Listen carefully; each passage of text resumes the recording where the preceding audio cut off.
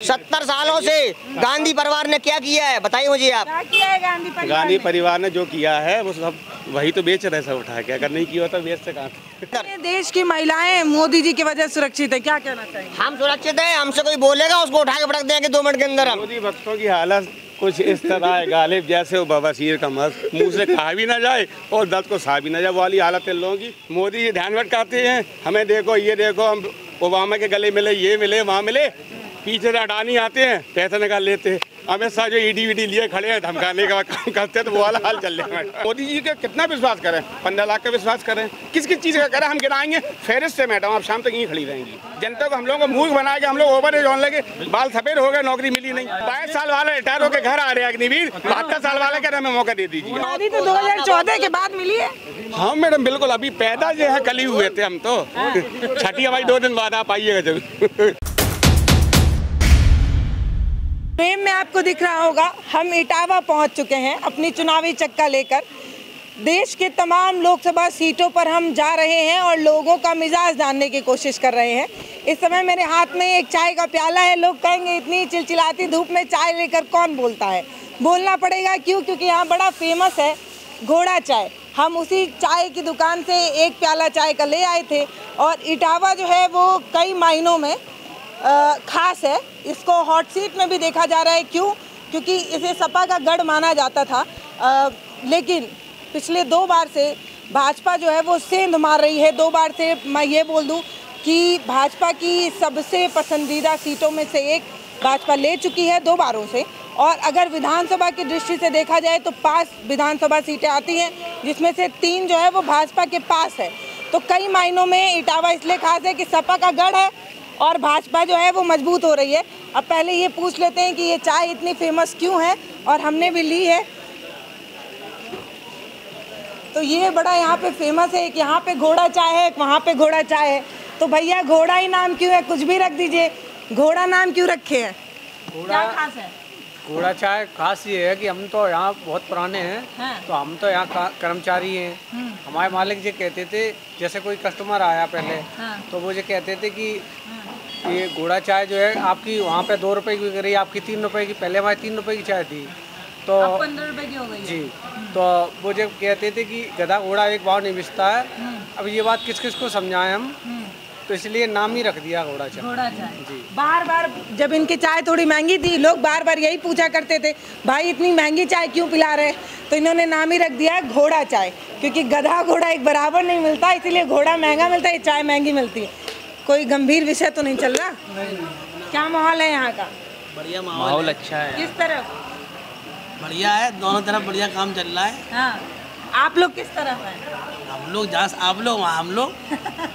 हम लोग किस तरफ़ हैं? फिर यही बता दीजिए। राजनीति भी हम लोग राजनीति से थोड़ा दूर है। हाँ।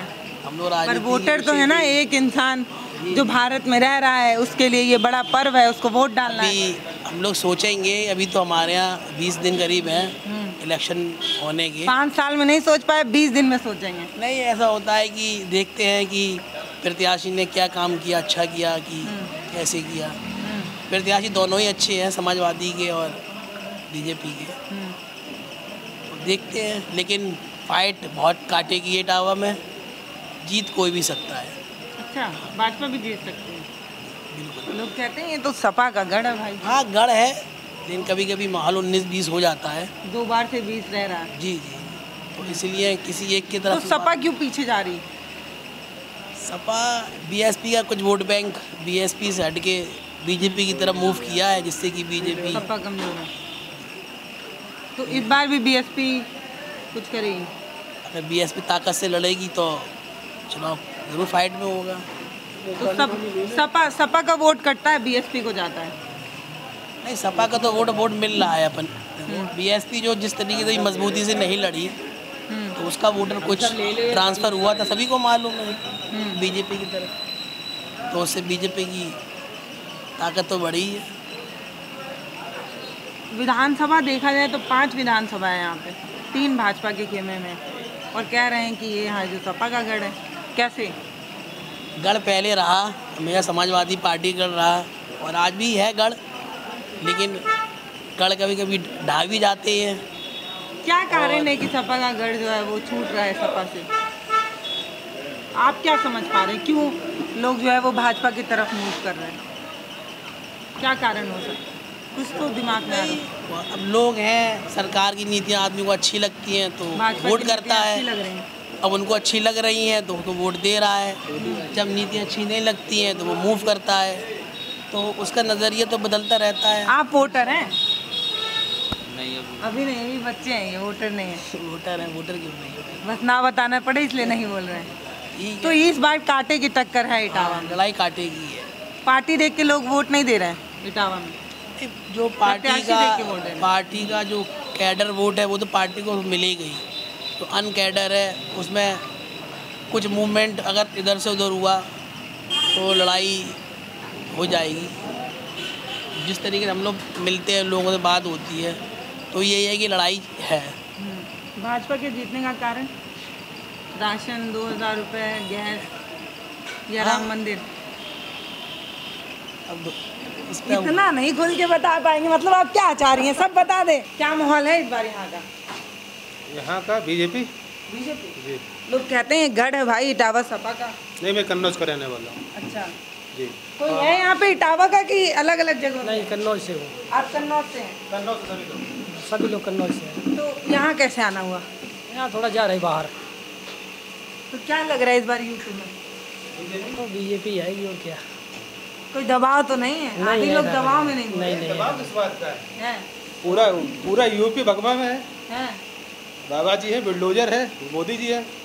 बीजेपी आएगा? बुलडोजर है इसी का बात का तो डर है कुछ बोल दिए पता चले एड्रेस निकलवा के किस बात का डर है? अच्छा करेंगे किस चीज़ का डर है? अगर कुछ गलत करेंगे तो डर है ना? अगर किसी का हम ज़मीन घे रहे हैं कुछ करेंगे तो डर है। अच्छा हो रहा। अच्छा हो रहा। क्या अच्छा लग रहा? जितने काम व्यवस्थाएँ हैं, सब अच्छी हैं तो बताइए आपको क्या पसंद आ रहा है? हमें सारी व्यवस्थाएँ अच्छी लग रही हैं कोई खराब नहीं लग रही है। तो एक दो काम तो बताइए भाई। अब यही है मतलब गरीब आदमी परेशान नहीं है हैं। हर जगह घूमता है कोई टेंशन नहीं है। हाँ हाँ चाहे पहले रात परेशान था। हाँ पहले परेशान होता था। पहले तो घर से बाहर निकलो लूट पक्का है। अब कोई समस्या नहीं किसी प्रकार की चाहे जहाँ जाओ चाहे रात का एक बजा हो दो बजा हो कोई समस्या नहीं किसी प्रकार की। अच्छा। आप स्वतंत्र हैं। दूसरी बात यहाँ जो भी गरीब तबका था सरकार उनको खाने के लिए राशन भी दे रही है। दो हज़ार अट्ठाईस तक का कर दिया है मोदी जी ने सत्ताईस तक का। गर्व की बात है कि देश में अस्सी करोड़ लोगों को। सरकार राशन दे रही है। बिल्कुल। गर्व की बात है नहीं गर्व की बात है इतना राशन दे रही है सरकार। हमारे कन्नौज में हमारे बड़े भाई सुब्रत पाठक जी हैं। इस बार हो सकता है वो दो ढाई लाख वोट से जीते। हैं अभी कल तक तो वहाँ तेजस्वी यादव का था। आज माननीय मुख्यमंत्री पूर्व अखिलेश यादव जी अनाउंसमेंट हुए अभी एक घंटा पहले लेकिन नहीं जीतेंगे इस बार। पक्का नहीं जीतेंगे। नहीं। लोगों के लिए राशन भी एक बड़ा मुद्दा है। यहाँ पे बाहर भी कुछ लोग दिख रहे हैं। कहाँ से आए हैं? कन्नौज। कन्नौज। ये सब कन्नौज ही वाले क्यों मिल रहे हैं भाई? कन्नौज। अच्छा सब लोग एक साथ ट्रिप आप लोग भी कन्नौज से ही हैं? जी नहीं हाँ। मैं मैनपुरी से मैनपुरी से? जी। क्या लग रहा है माहौल इस बार? बढ़िया है। किस तरफ़? अब किस तरफ़ का बताएँ? बयार इधर बह रही है इधर बह रही है। पूर्वा बह रहा है पछुआ बह रहा है? अब पता नहीं पूर्वा बह रहा है पछुआ है। हैं। मुझे जान आप किस तरफ़ बह रहे हैं? हम तो पूर्वा की तरफ़ आ रहे हैं। पूर्वा? चलिए और कुछ लोग हैं आप लोग भी कन्नौज से हैं? ये सब कन्नौज वाले यहाँ कहाँ घूम रहे हैं? जा रहे हैं ट्रिप पे जा रहे हैं। क्या लग रहा है इस बार? हैं? सपा। सपा सपा अंदर जो भैया लोग हैं आप लोग के साथी हैं दोस्त? हाँ। वो लोग कह रहे हैं पूरा भगवा में हुआ पड़ा है। बस सबकी अलग अलग है। हैं? दोस्तों में भी फूट है। कुछ लोग भाजपा दोस्तों में क्या है? सबकी अलग अलग मत है। अलग चॉइस है सबका मत अलग अलग है। हमारे यहाँ सपा ज़्यादा है। हाँ, कन्नौज नहीं हम मेहरबा कटरा कन्नौज कन्नौज लोग फरगाबाद इटावा में भी? हाँ इटावा में भी। कुछ लोग अच्छा। इटावा के। कौन है इटावा का? अरे जो इधर के जो जिला लगे हुए हैं यहाँ पर सब में सफ़ा आगे है। अच्छा। लेकिन दो बार से तो भाजपा वाले जीत रहे हैं। तो जीत रहे अब अब की बार सपा है। अब की बार सपा है। झूठे वादे कब तक चलेंगे? पंद्रह लाख पहले चौदह में चला। हैं? हैं? फिर दो दोगुना। हाँ आय दोगुनी। चलेगी। वो भी हो गया आय दोगुनी। चलेगा अब की बार पीडीए चलेगा। अब की यहाँ पीडीए चलेगा। ऐसा क्यों? पीडीए क्यों चलेगा? हाँ। क्यों पंद्रह लाख का? किसने कहा था पंद्रह लाख मोदी जी देंगे? तुम्हारे मोदी जी मोदी जी ने। कभी ये नहीं कहा मोदी जी ने ये कहा कि अगर विदेश से काला धन आ जाएगा तो पंद्रह लाख रुपए होंगे नहीं पंद्रह लाख लाने के लिए कहा था। मतलब ये थोड़ी होता कि कोई ऐसा नहीं ऐसा करे। तो अभी काला धन काला धन वापस आएगा। इस चीज़ को आदमी को चार सौ बीस से चार सौ पचास सीट निकलेगी। ये चैलेंज होता है। पचास नहीं चार सौ ज़ीरो ज़ीरो नहीं आप अपने इटावा की नहीं बचाओगे इटावा की निकल के जाएगी। आप इटावा को तो छोड़ दीजिए। चार तारीख को पता लग जाएगा। चार तारीख को क्या? अभी निर्भरो जीत के आए तब किसने देख लिया? गुजरात में सूरत में निर्भरो जीते। बट में पहली बार जीते ठीक ठीक निर्भरो जीते। हाँ। चंडीगढ़ में जीते फिर क्या हुआ? कौन से चंडीगढ़ अरे में? चंडीगढ़ में। मेरे हैं आप। भैया हंड्रेड वन परसेंट निकलेगी आप चाहे कुछ भी करो हम आधार पे जीत रहे हैं। किस? मोदी जी का ग्रेज मैडम बहुत अच्छा। अच्छा। बहुत अच्छा है। क्या अच्छा है? देखो एक बहुत अच्छा उनका क्रेज बहुत अच्छा है। उन जैसा कोई लीडर नहीं है। आज की डेट में उन जैसा कोई लीडर नहीं है। मोदी जी जैसा। मोदी जी जैसा। ये सच्चाई है। मोदी जी ऐसा झूठ बोलने वाला कोई प्रधानमंत्री आज तक हुआ ही नहीं। जिसके लिए आप बात करते हैं कि किस किसे प्रधानमंत्री बनाना चाहते हैं मोदी जी के बाद नहीं गठबंधन में तो कोई दूल्हा है पता ही नहीं पता ही नहीं है। दूल्हा क्यों नहीं? जनता है सब कुछ है। जनता सर्वो पे है। प्रधानमंत्री किसको अरे जनता बनाएगी जनता अपना खुद ही चुन लेंगे कौन बनेगा? डिसाइड कर लेंगे ना। हाँ, जनता चुनेगी ना? वो अपना जनता में से निकालेंगे किसी को? भाजपा का एक एड कैंपेन आया था। उसमें दुल्हन बैठी थी और दूल्हे नहीं मिल रहे थे। वही हाल है गठबंधन का। दूल्हा ऐसा कुछ नहीं है। दूल्हा एक ही है। दूल्हा केवल एक है सब जानते हैं। पूरा भारत सब जानता है। दूल्हा केवल एक है। कौन? आप खुद जानते हैं बहन जी। नहीं आप नहीं बताइए। आप सभी जानते हैं जितने खड़े सब जानते हैं। मीडिया अंधा भी होता है और बहरा भी। नहीं नहीं मीडिया ना अंधा ना बहरा ना नहीं है। है। मीडिया सच दिखाती कहाँ है? जानती है मगर मीडिया सच दिखाती कभी नहीं है। हाँ। मीडिया वो दिखाती है जो लोग नहीं जानते हैं जो लोग जानना चाहते हैं वो मीडिया कभी दिखाती नहीं है। इस बात ध्यान रखना आप बहन जी आप। लोग क्या जानना चाह रहे हैं? आप बताइए ये लोग ये जानना चाहते हैं कि जो इस समय सरकार में है हाँ। जो इस समय सरकार में है जो करना चाहता है वही करेगा। आप लोग पता चलेगा चार मई चार जून के बाद हाँ, चार जून के बाद जलवा होगा। क्या होगा। जलवा होगा आपको जानते हैं इंडिया इंडिया गठबंधन का जलवा होगा। गठबंधन कह रही है चार सौ पार और ये गठबंधन साहब हमेशा कहते हैं। वो तो हमेशा कहते हैं। वो दिल्ली में भी है। हाँ। माननीय मोदी जी हाँ। प्रधानमंत्री के रूप में दोबारा उभर के फिर तीसरे फिर उभर के फिर आएँगे? दोबारा तो हो चुके दोबारा नहीं आएँगे। आएँगे। दोबारा दोबारा कुछ नहीं कर पाएँगे इसमें आप कुछ नहीं कर पाएँगे इसमें आप। चुनाव हुआ था पैंतालीस बता रहे पैंतालीस से आठ क्यों आई? कुछ नहीं कर पाएँगे पैंतालीस से आठ ही हो है भोजन। ठीक ठीक भोजन का नाश्ता पानी करेंगे कुल्लू मनाली जा रहे हैं। अब अब की बार अखिलेश यादव सरकार। कहा है भैया? बोला। अखिलेश जो बोलते हैं वो करते हैं। हाँ। वो जो कहते हैं वो करते हैं। अंदर एक भैया बैठे थे। भैया ने जो बात कही है वो बात पूरी की है। अंदर आपके एक दोस्त बैठे हुए हैं। वो बोले पहले तो हम चाह के भी किसी ट्रिप पे नहीं जा पाते थे इतने गुंडे थे घर से निकलते ही चोरी हो जाती थी। अरे ऐसा कुछ नहीं है ऐसा कुछ नहीं है। आज आज नहीं होता है।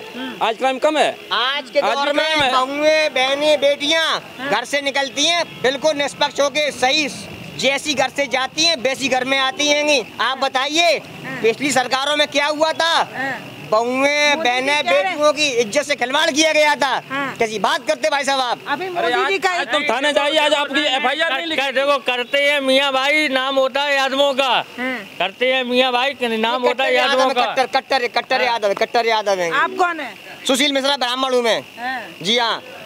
मोदी जी का एक स्टेटमेंट अभी हाल ही में आया है कि अगर गठबंधन जीतेगी तो मंगलसूत्र तक महिलाओं का बेच देगी। हाँ मैंने भी सुना कल सुना मैंने। जो जो इन्हें तो कोई मुद्दा चाहिए ना। इन्होंने ये मुद्दा बनाया है। ये मुद्दा भी बनाया है। क्या जीतेगा वो? हाँ? एक आदमी होके सौ आदमी को साथ ले रहा वो क्या जीतेगा? वो आप खुद जानती बहन जी आप। मोदी ये कह रहे हैं मोदी ये ये कह रहे हैं ये वाली बात हाँ। कि हम आपको गल्ला दे रहे हैं जो कुछ क्या अपने पास से दे रहे हैं। ये बता दो अपने पास से दे रहे हो तो ठीक है कोई बात नहीं ठीक है। अब तुम गल्ला मत दो आदमी को सरकारी नौकरी दो। जो आदमी का घर चले समझ लो। और बहुएँ बहन बिटिया वो कहाँ जाएँगी? वो तुम्हारे घर पे रहेंगी आगे वो? हैं? ऐसी बात तुम करते होगे। हैं सरकार बीजेपी की आना तय है और हमारे पे नाम सुशील मिश्रा है टाबा का रहने वाला हूँ मैं हाँ। सरकार अगर नहीं आती है ना हाँ।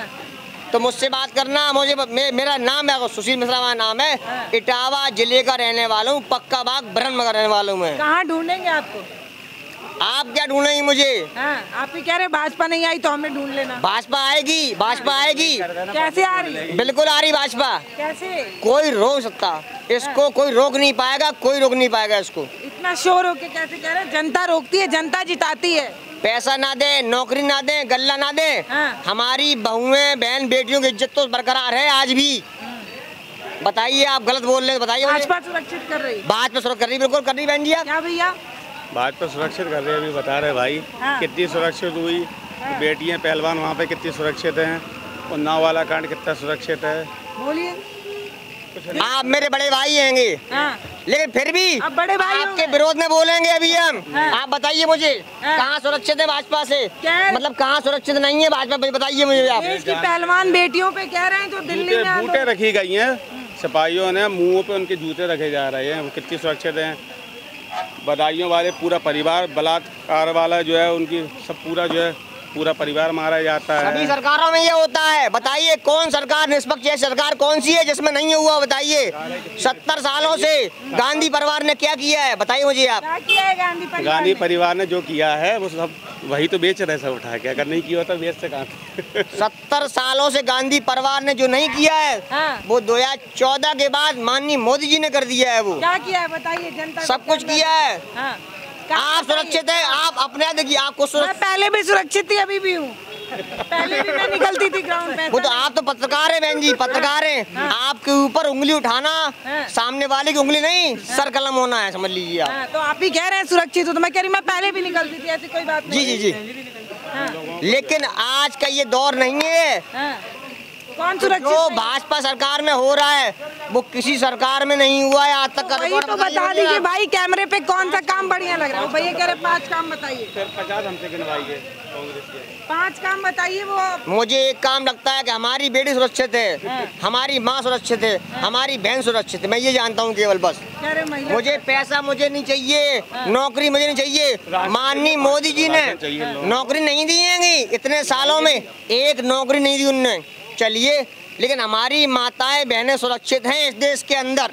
ये समझिए आप। नौकरी मिले ना मिले। ना मिले मैं खुद कमाता हूँ किसान हूँ मैं। हाँ। खेती मेरे पास है घर दुकान मकान मेरे पास है।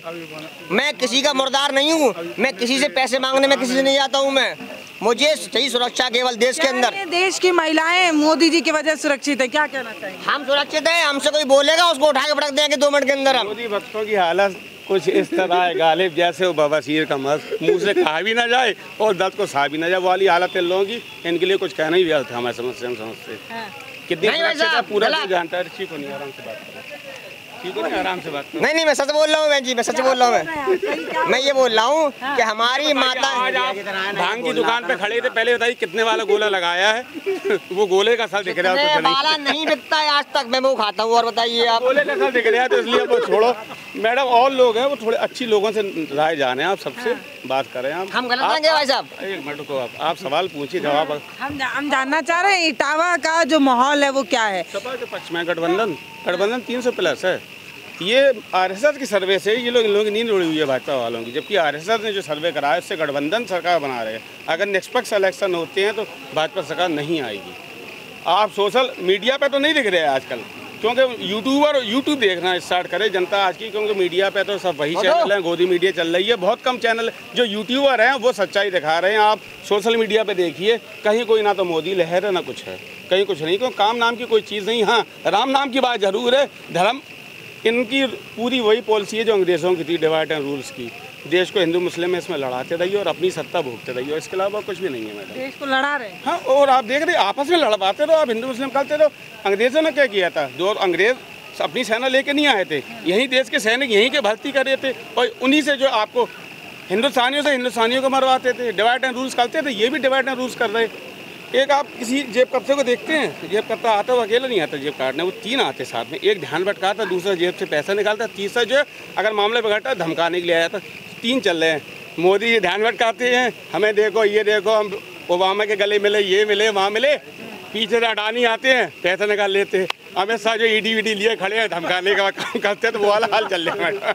रियलिटी में बता रहा हूँ आपको। प्रधानमंत्री अच्छा आ, आप हमसे ये पूछिए कांग्रेस ने क्या किया? हाँ सत्तर साल में सत्तर साल में मोदी जी जैसे सो कोल्ड बताते कि हम चाय बेचते थे जो वो सेशन हुआ करता था वो भी कांग्रेस की देन थी सत्तर साल में जिस वक्त देश आज़ाद हुआ था मैडम बंदर भी कह रहे हैं मैं भी ले लो। देश जिस वक्त हनुमान जी अरे रुको रुको बस यही। राजनीति चल रही है हनुमान कभी राम कभी जय।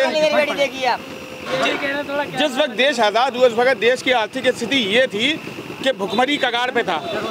देश की आर्थिक स्थिति देश आधार हुआ तो भुखमरी कगार पे था, जो जर्मन ने गेहूँ भेजा था, वो गेहूँ की हालत ये थी, ये इंडिया के जानवर भी नहीं खा रहे थे। ये भुखमरी थी, उस वक्त जिन नेहरू जी पर उंगली उठाई जाती है, कि नेहरू जी मोदी जी को आज भी काम नहीं करने दे रहे हैं। वो नेहरू जी ने जो भाखड़ा डैम बनाया आई I T I I am सब नेहरू जी का बनाया हुआ। उस वक्त देश के प्रधानमंत्री बनने का मतलब था सुसाइड करना। उस वक्त अर्थव्यवस्था इतनी बढ़िया करी, जो इकोनॉमी जो जब फाइव ट्रिलियन और जो बोलते हैं मनमोहन सिंह सिंह तक की सरकार में इकोनॉमी आगे चल रही थी अब ये उस इकोनॉमी की गैंड लेके जो पीछे की तरफ़ भाग रहे हैं मोदी जी। वाला हाल है। सरकार कांच के ताबूत में खड़े होकर भाषण अपना देते थे। आप बताइए। मोदी किसमें खड़े होके बोलते हैं? मोदी खुले खुले मंच पे खुले मंच पे। मोदी जी बोलते खुले मंच आप हमारे सवाल का जवाब किसी जानकार अगर हम जो बोल रहे हैं कोई जानकार आदमी बोले तो वो हमें थोड़ा अच्छा लगेगा। तो अब आप हमसे सवाल करिए कंटिन्यू अगर जो भी आप तो ये जो इटावा है उसको आप कह रहे हैं कि सपा जो है या गठबंधन जो है वो ले जा रही है लेकिन दो बारी से तो भाजपा जीत रही है। आप अपने विधानसभा में देखिए भाजपा कितनी मज़बूत हुई है। अगर पाँच है तो तीन तो भाजपा के पास है तो कैसे कह रहे हैं आप? बिल्कुल मैडम हमने क्या कहा? अगर निष्पक्ष चुनाव होती है सरकार चौबीस में नहीं आ रही है। इसका मतलब ये जो विधानसभा के चुनाव हुए वो निष्पक्ष नहीं हुए। हाँ निष्पक्ष हो रहे हैं मैडम? आप देखिए जिस देश ने जिस देश ने जापान ने सपा के पास थी तब तक नहीं हो जिस देश ने जापान ने ये कम जो बना ईवीएम वगैरह, वहाँ बैंड हैं। जहाँ जहाँ अमरी- अमरीका जैसा शक्तिशाली देश, वहाँ बैंड है, वहाँ वैलेट स्टोर है। हमारे से इतना महान है। एक छोटा सा, अब आप गले की दुकान है, ये सामने गले की दुकान है। इसमें अब तराजू तक को जो है, आपके अंगूठे जोड़ दिया गया अंगूठा लगाइए, पाँच किलो तोल गया, फिर दोबारा लगाइए। लेकिन तो एक वोट का मामला जो है, आप इतना कीमती चीज़ है, उसको आप किसी चीज़ से लिंक नहीं कर रहे ना आधार से लिंक कर रहे हैं, पेट्रोल सौ रुपये का लेने जाते हैं, पर्ची ले रहे हैं हर चीज़ में। ये वोट हमारा जो सबसे कीमती चीज़ है, उसका हमें कोई प्रूफ नहीं मिल रहा है कोई पर्ची नहीं मिल रही, हम किसको वोट दे रहे हैं? हमें तो सेटिस्फेक्शन होना चाहिए, जो हम वोट दे रहे हैं। जब तक अगर जनता ही सेटिस्फाई नहीं तो फिर चुनाव होना ना होना, फिर कोई मतलब ही नहीं, आपको तानाशाही करनी है, आप डायरेक्ट डिक्लेयर कर दीजिए बीस साल के लिए, जब तक हम ज़िंदा हैं तो हम प्रधानमंत्री रहेंगे। फिर ऐसा करते हैं, आप ये तमाशा खत्म करें, कम से कम जो जनता का पैसा, जो इलेक्शन में खर्च हो रहा है, वो तो बचेगा। अगर एक तरफा ही आपको मामला सब करना है और अपने सब, आपको तानाशाही चलानी है तो ये दिखावा डेमोक्रेसी का बंद करो फिर ना। फिर तानाशाह देशों में अपनी गिनती कराइए। आप क्यों दे, दुनिया की सबसे बड़ी डेमोक्रेसी इंडिया कहलाती है? इंडिया इसलिए कहलाती है क्योंकि विभिन्न धर्मों के लोग और सब रह रहे हैं और सबको निष्पक्ष जो है इंडिया के जो कॉन्स्टिट्यूशन है, उसमें सबको बराबर के राइट दिए गए अब आप वो राइट भी छीनना चाह रहे हैं, हमारा फ़ूड का राइट है, जो वो छीनना चाह रहे हैं, हमारे घूमने का राइट आर्टिकल ट्वेंटी वन में, वो आप हमसे छीनना चाह रहे हैं, हम अपनी मर्ज़ी से घूम नहीं सकते, हम अपनी मर्ज़ी से खा नहीं सकते तो आप इस देश को किस सब लेकर जाना चाह रहे हैं? सवाल एक ये है कि आप कहाँ ले जाना है आपको देश को? तो क्या कहें मैडम? भैया ये क्या कह रहे हैं? देखिए तो फिर बोले जा रहे हैं पता नहीं क्या क्या बोल रही है। भैया सही बोल रहे हैं जो भी बोल रहे हैं। बिल्कुल सही बोल रहे हैं। अगर हमारे जो मौलिक अधिकार है वो कहाँ जाएँगे? हाँ, क्या हम लोगों को अधिकार नहीं है कुछ करने का? हाँ। क्या बोल रहे हैं भैया लोग? भैया आप पटेल की आपसे वोट बैंक हैं? देश जो है वो जो है वो लोकतंत्र नहीं बचा है। नहीं बचा चुनाव जो है वो एक हो है। नहीं बचेगा नहीं बचेगा लोकतंत्र नहीं बचेगा। वो तो संविधान खत्म करना चाह रहे हैं। अगर अब की बार सरकार बनी तो संविधान खत्म हो जाएगा। तो हम लोग पहले से ही जागरूक हैं। आप ईवीएम पे सवाल उठा रहे हैं बिल्कुल बिल्कुल। खत्म होगा, ना खत्म पे तो हो जाएगा भाई साहब। अगर संविधान खत्म देश खत्म भाई साहब पे तो मोदी जी बोले नहीं। जी। मोदी जी बोले नहीं हम क्या भीमराव अंबेडकर आ जाए वो ना संविधान मोदी जी तब बोले ना अच्छा ये जो बातें निकल के आई ये भी कहाँ से निकल के आई? उन्हीं के खेमे से उनके मंत्री जब ये बोल रहे तीन सौ चार सौ सात लाइए तो हम सब कुछ बदल देंगे। चार सौ सात लाने का मतलब क्या है? क्योंकि आपके पास वो राइट आ जाएगा कि आप बदल सकते हैं। चार सौ साठ अगर सीटें आ जाएगी आपने नारा क्यों दिया? नारे का मतलब क्या है चार सौ सात देने का? आप भी जानती है मैडम सब जान रहे हैं। अच्छा मोदी जी वगैरह में ये कि पहले सोचा छोड़ दिया जाता नहीं कि इन्हीं के खेमे से बात पर जब मामला देखते हैं कि हाँ बिगड़ने लगता है फिर देन दे के आते हैं। राजनाथ सिंह भी सफाइयाँ दे रहे हैं। इसी तरीके की सफ़ाई है एन आर सी ए इन पर उन पर आपने दी थी। बाद में आप काम वही करते हैं।